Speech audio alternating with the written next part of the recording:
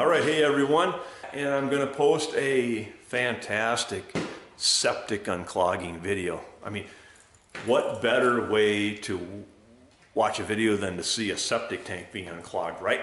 So uh, here it goes. Uh, the backstory on this is that my mom at her house, you've got the house here, you've got septic tank number one here, septic tank number two here, right? So she had a little bit of water uh, sewage back up in her uh, basement about you know a couple weeks ago. And so I ran a snake down into all the way out to the septic tank number one and made sure that that was cleaned out and so on.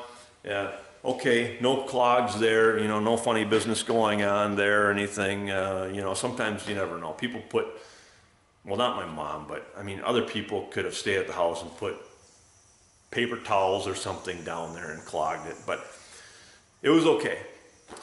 Got to looking at how much water was in the, the tanks and, you know, it looked like tank number one was really pretty full. Probably seemed like, yeah, that's about the level of the basement.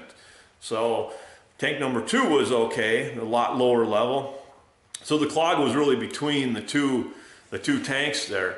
And uh, in the meantime, we had the guy come out and pump the tank and, you know, stir up all the, the pee and the poop in there and, and pump it out. Um, and thought, well, maybe that'll kind of loosen things up or whatever and clear it out. Uh, turns out it did not. So, long story short, uh, come back again a week after he pumped it out and we had to go down there and get rid of the clog. So this is where this video shows you how we got rid of the clog. Um, I'll just tell you ahead of time that we had to use the Sony Action Cam and send it down there. And then my son-in-law, he made this ingenious little mechanism, tool, whatever you want to call it, for going down the hole uh of the sewer, or you know, through the hole in the sewer, the top there, and reaching over and poking out the, uh, the clog between the two tanks.